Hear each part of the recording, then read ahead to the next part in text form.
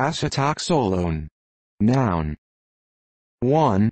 An acyl derivative of glycyrrhetinic acid used to treat peptic ulcer and gastroesophageal reflux.